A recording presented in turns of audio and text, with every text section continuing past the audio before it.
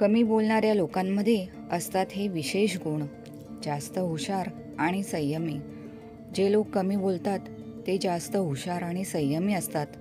तसेच गरज असेल तेव्हाच बोलतात. स्वाभिमान कायम राहतो.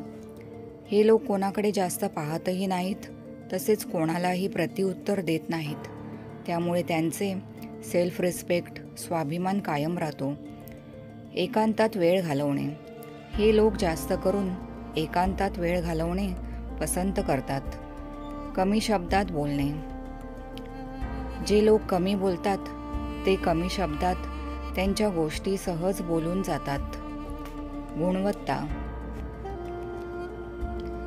अशा लोकांमध्ये अधिक यशस्वी होण्याची गुणवत्ता असते. शांत स्वभावाचे. हे लोक कमी बोलतात आणि अतिशय शांत स्वभावाचे असतात. अधिक विश्वासार्ह. हे लोक अधिक विश्वासार्ह असतात कारण ते एकाची गोष्ट दुसऱ्याला सांगत नाहीत. समोरच्याला जाणून घेण्याची क्षमता. जे लोक कमी बोलतात ते समोरच्या व्यक्तीला खूप चांगल्या पद्धतीने जाणून घेत असतात योग्य सल्ला देण्याची क्षमता.